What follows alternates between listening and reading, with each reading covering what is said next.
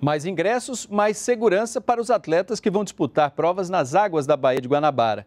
A Secretaria do Estado detalhou as obras feitas para controlar a poluição.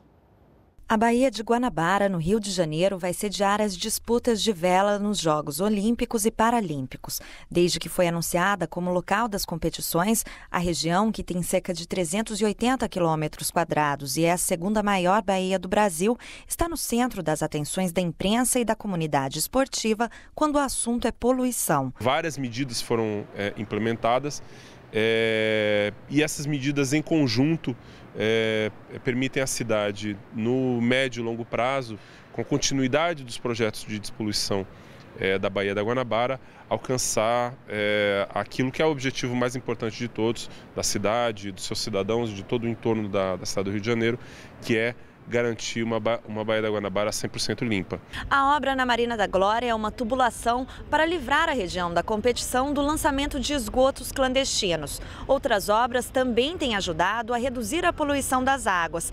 É o caso da instalação de ecobarreiras flexíveis nos rios afluentes para evitar que o lixo chegue à Bahia.